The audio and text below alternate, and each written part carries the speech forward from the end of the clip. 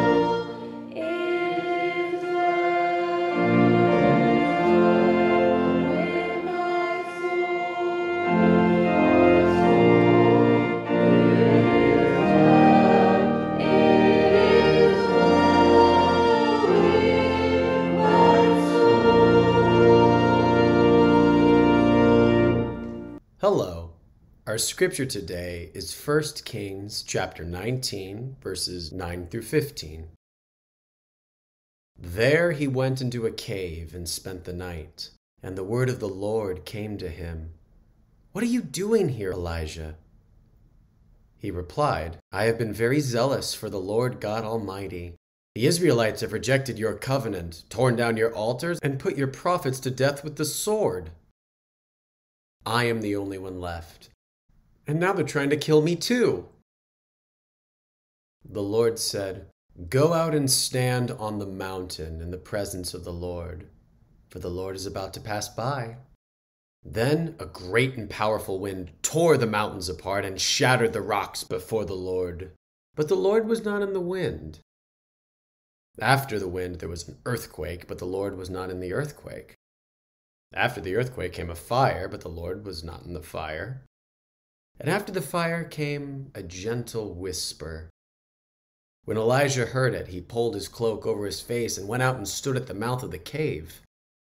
Then a voice said to him, what are you doing here, Elijah? He replied, I have been very zealous for the Lord God Almighty. The Israelites have rejected your covenant, torn down your altars, and put your prophets to death with the sword. I am the only one left, and now they're trying to kill me too. The Lord said to him, Go back the way you came, and go to the desert of Damascus. When you get there, anoint Hazael king over Aram the Word of God for the people of God. Thanks be to God. Good morning. Good morning. Before we dig into this week's Bible story, I want to say how blessed I am to be back here in the NoHo community. I was gone for a week in Paris, for those of you who did not know that. Thankful that Pastor Christian filled in. It was the most wonderful perfect trip with nine of my friends uh, that I've been friends with since I was 12 years old. And so we spent a week together in Paris. And yet, how amazing to come back into this church family in a week that, oh my goodness, was this campus alive. So, thank you to those who were a part of Trunk or Treat on Monday, as I was feeling jet lag, it kept me awake because there was no way I was going to fall asleep during trunk or treat. But to see how many people were there and so many Wesley students that were like, Hi, Pastor Jamie. And it was just so exciting to see them there and people of all different generations here in our church really bringing this spirit of festivity to our community. And then this past weekend, yesterday, some of you were here on the campus, some of you were not, but oh my goodness, did we have a few people here on this campus, literally hundreds. Phil was joking with me that I said my prayer was that our campus would be more used, and oh wow, it was. There was a school, middle school open house happening. We shared our space with the California Rangers, this equestrian, equestrian group that got to use our campus. There was a wedding here in the sanctuary, and we had our amazing market, which was just fantastic. And I've already enjoyed some jam this morning that I bought, and the pottery plates that Carrie had, we used those at dinner last night. I ate all the almost all the chocolate balls from Kathy Ellis I was supposed to save for my husband. so fortunately, he doesn't know that happened. Uh, it's his favorite dessert. Uh, just to see the activity on this campus, I can't tell you how heartwarming it was, how excited it made me to be back here, how much I really want to see our faith community grow because though I absolutely loved, loved the trips that I had to Paris with my friends, I thought a lot about the state of the church and the world. And of course, what I do when I travel is I just ask people about their faith and church and Jesus and all of that. I ended up talking to two young women. One of them was a guide for a day that we tasted our way on a walking food tour through Paris. Another was a guide when we biked all around Versailles. Both of these women were in their 20s. They shared with me that today in France, 5% of the population goes to worship. 5%. And they didn't have much connection to church, and we ended up having a great conversation. I actually told them about this church. Both of them said, I think I would like to go to that kind of church. And it just disheartened me and convicted me that if we do not tend to the life of the church in our midst, that sadly, because this is what's happened in many places in France, that we could end up selling tickets to a museum. That you walk in some churches today and you're selling a ticket to a museum. And that breaks my heart to think that that's what this sanctuary could become. We don't want it to become that. Yeah, these little cards in your bulletins today that you might think, well, oh gee, it slipped out and now I have to pick it up on the floor. But instead of being like, oh, gee, I have to pick this up, stick it in your bag, your purse, your pocket, invite someone to come. Because in a broken and hurting world, I still think that Jesus and the community of faith that follow in the way of loving like Jesus is the best hope for the world. And we all have to work in making that happen. And then to be able to come back after a week away and seeing the state of the church in France, and then seeing our church alive this week, and then today is All Saints Sunday, it really truly gives me goosebumps when it's time for communion, you'll be invited to come up to two altar rails. So if you're on this side, you'll come up and kneel if you're able or stand. If you're on this side, you'll come up to this altar rail, kneel if you can or stand. And then after you take Holy Communion, you can go to one of either stations and light one candle for the people in your life who have gone before you. All Saints Sunday is a day we remember those who are now in heaven and who have shared life with us. Now, what I did at these tables, I actually have old church bulletins and pictures sitting at those tables. There are actually photos from 1960s, you're not supposed to sit and look at the bulletins when you come up, but if afterwards you want to, you will see many past pastors, including Pastor Joey. Um, they're in those bulletins.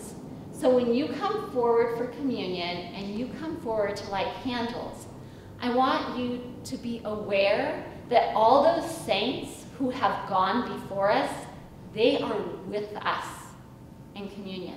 They are with us when we light those candles. And that we are building on the shoulders of giants. These are people who loved Jesus and loved the church and believed in the church. And so I hope that we can draw some strength from those saints as we go forth and think we want to be those people. I also want to make a special note to hold in prayer Lynn Yoshizimu, whose husband Rich just passed away on Friday. And when you come forth, just that you have a heart full of prayer um, for her. So let us, oh, I'll say one more thing. That's why I'm holding it. In the middle is actually a prayer for All Saints Sunday and a place for you to write a prayer or a memory of someone that you have loved. So either before or after you take communion, if you want to sit in your pew as quiet reflective time and read the prayer, write a prayer you can, or maybe it's something you'd like to use in this week ahead to remember um, those saints. So let us pray. God, I thank you that as we gather for worship today, it's not just us, the people that we see behind us and beside us and in front of us in these pews, but that the saints of yesterday are somehow mysteriously with us, and that most importantly, God, you are here with us, and you weave together uh, the lives of those who have gone before with the lives of those who are here now, with all of those who will come in the future. And God, through all of these centuries, we have built our faith on the firm foundation of Jesus and on these stories of Scripture, that they're stories from ancient of days that are still true for us in this moment and place. And so, God, I pray that you bless every word spoken and every word heard so that in the end we hear your word. We say this in the name of Jesus Christ. Amen. So, this autumn, as we think of homecomings and celebrations around tables, it's those times where people share stories. So, we've been talking about all these stories in the Old Testament that are really part of our stories and getting to know our faith, our faith family tree, and there's still stories that speak to us today. So, we have talked a little bit about Moses and how Moses was called by God, who heard the cry of a people enslaved to free them. And as he leads them through the wilderness and leads them to freedom, then Moses helps them to live in right rhythm with God and with each other as he gets those Ten Commandments on the mountain. And then we talked about David, who takes those commandments that have been away for a long time in a different place and he brings them to the holy city and he's so excited to have those words of God back in the midst of the people that he dances undignified, uh, dances like crazy. And so the last Sunday I was with you, we were talking about dancing undignified, which is very different than All Saints Sunday, which is more about this sense of being somber. And it's a day where I wear my robe because it's sort of one of these high, holy, reflective days in the life of the church. Now, all of these stories are interweaving together because it really leads to the story of Elijah. Now, Elijah is very excited for the Lord. He also is a grumbler and a complainer. He has been called as a prophet to speak the word of God to a people who do not necessarily want to listen. And he is trying really hard to be faithful to preaching God's word, sharing with others, and he is in many ways overwhelmed and overworked. He is in a challenging time because as he is trying to preach the truth of God, there is what is arguably in the Bible the most wicked king and queen of the time are ruling. Like if you look at all the biblical kings and queens, these two are kind of listed as the worst. Ahab and Jezebel. You heard that name, Jezebel? It used to be, there would be a phrase like back in the day, I haven't heard it currently, that if somebody told you you were a Jezebel, that was not nice. You were wicked and you were mean. So Elijah is dealing with this king and, and queen, very, very wicked, not very good things happening in the land, and he's trying to speak God's truth and a better way of life. Jezebel actually wants him beheaded which I learned in French history. There's a lot of beheading. Um, not good. So this is a scary, scary time. So Elijah's trying to, to preach this word in a hard time. He's getting very tired and very overwhelmed. And so he goes to this mountain. Now, it's the same mountain that Moses received those Ten Commandments. Moses heard God on that mountain. And so now Elijah is on that mountain trying to hear a word from God. As he's up there, there's a lot of noises. There is an earthquake, and there is strong wind, and there is blazing fire, loud, big noises. But as the story goes, God is not in any of those loud noises. At the end, all of a sudden there's this sound that comes, and God is in that quiet sound. It's translated many different ways. Sometimes, I believe in the Bibles in your pews, it says that there was a sound of sheer silence. Other translations say it was a low whisper. Other translations say it was a gentle whisper. Some say a soft and gentle whisper. And other translations say a still, small voice. In the Hebrew, the original language of the Old Testament, it really isn't the easiest word to translate because there is this sense that there is a quiet, not like the airplane going over our head right now. There is a quiet, yet in the quiet, there's a voice. You do hear the voice of God, even though it's silent. And that's sort of hard to grasp and understand. There's a mystery in that silence, yet God is speaking. And it's not until Elijah is able to get to that point of sheer silence, gentle silence, silence, a quiet whisper, that he is able to hear God speak in his life, speak right into what he most needs to hear in his own time and place. So I want you to imagine for a minute about what your days look like right now.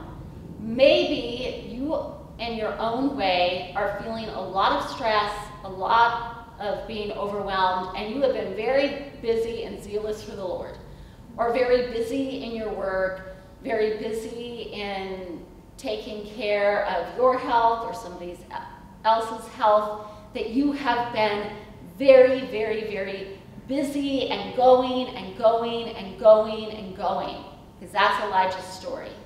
And now finally he is taking a little bit of a break. He is taking a pause, and it is being overwhelmed in the busyness of what he's doing, but also the busyness of his mind, worrying and grappling with all these things. He spends some time in quiet. And how often we need that too. We are so busy with different things that might be those tasks on our to-do calendar. And I think that many of us could admit that we busy our minds with worry, we busy our minds with stress, and we just keep going on that level. And maybe what we really need to do is take a little break to be in the silence, and that when we open ourselves up to the silence, we might just hear God speaking. If you have studied the science of silence at all, it is pretty amazing. And I've said many times that I think the study of science helps us in the discovery of God because we learn how God does things.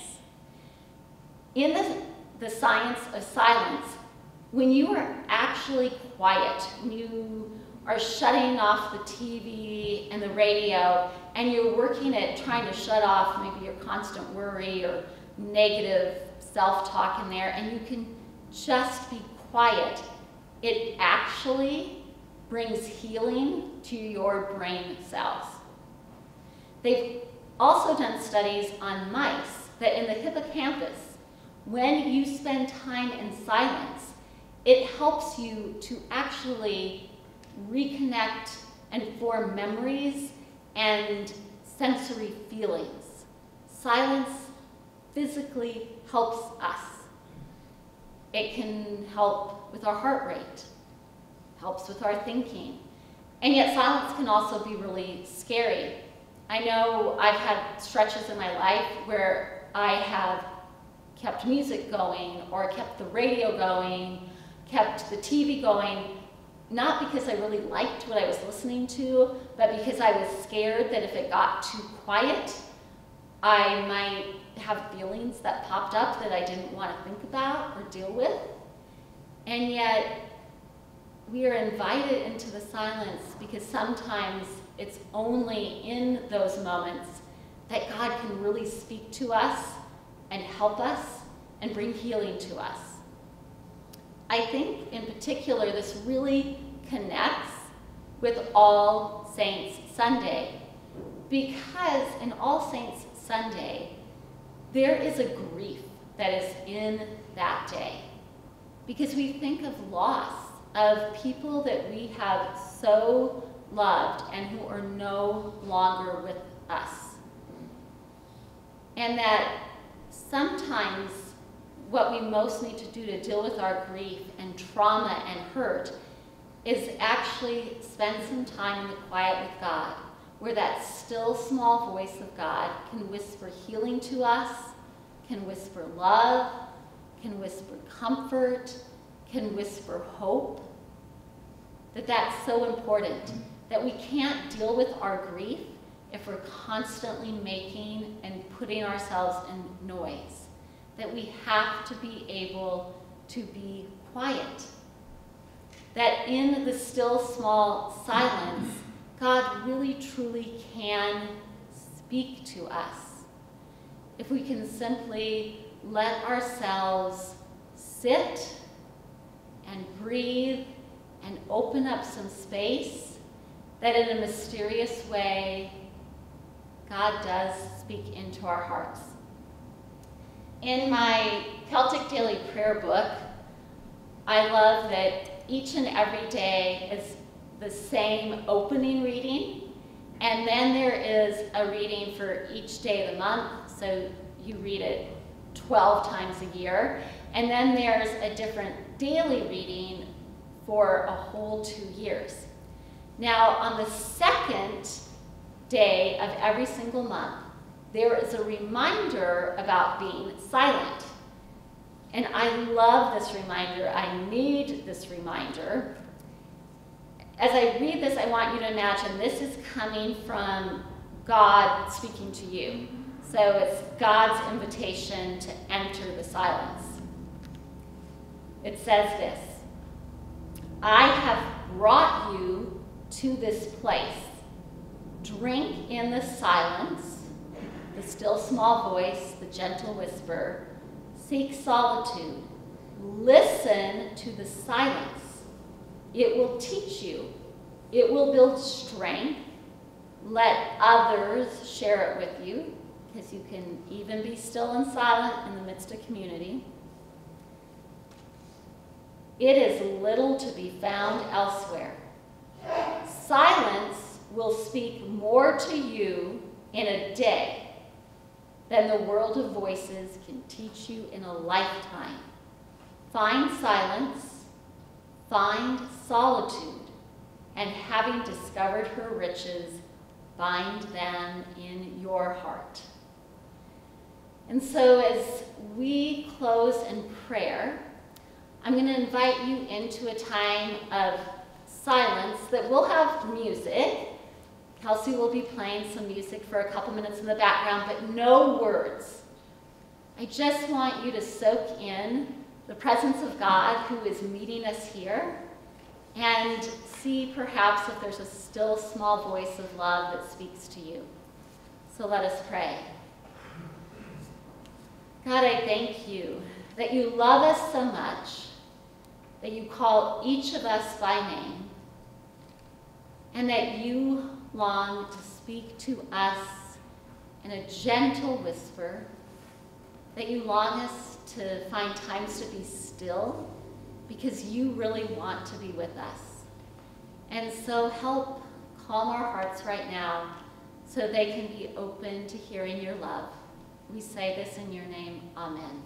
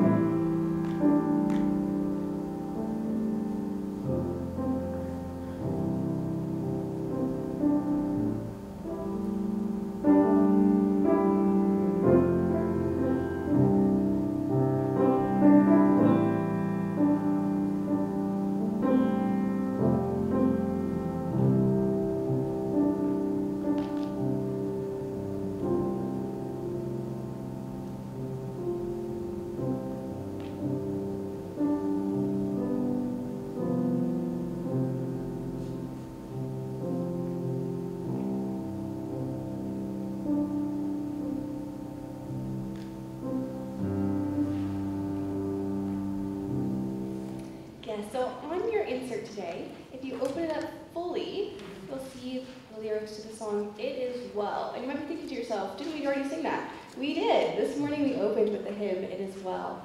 But what I love about the song we're about to sing now is that it's a contemporary version inspired by the hymn. And just the lyrics, and it has a little bit of the hymn in it. The way that it takes the original hymn and spins it in a new way is so powerful and so important. And I wanted to sing both in the same service because I think it's so important to have both traditional hymns and contemporary worship in the same service. And I wanted you to be able to see the differences between the two, but also enjoy both. So if you would stand with me in body or in spirit, let's close the worship together.